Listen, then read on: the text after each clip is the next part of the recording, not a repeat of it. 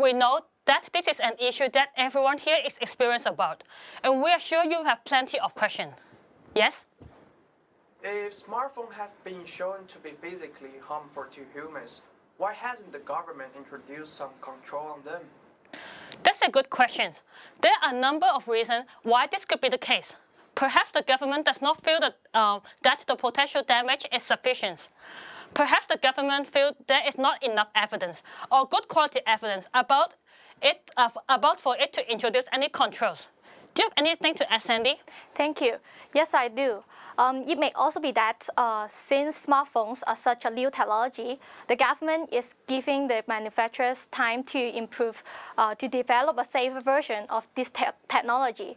We are sure that if a company releases a safer product, people would be more likely to buy it, and soon all the phones will be safer. Has this answered your questions? Yes, thank you. Excellent. Are there any other questions?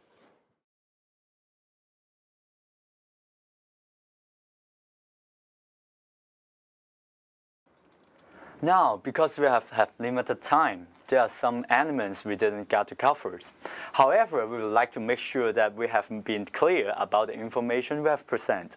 So if you have got any questions, please feel free to ask.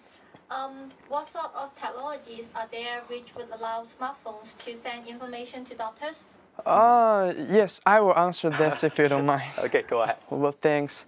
Well, one good example is a device that can plug into your smartphone, which can take blood sugar readings for diabetics.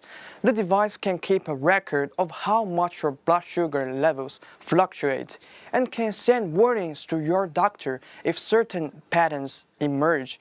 Does that answer your question? Yes, I see. Thank you. Exciting, isn't it? Just imagine what we will be able to do soon.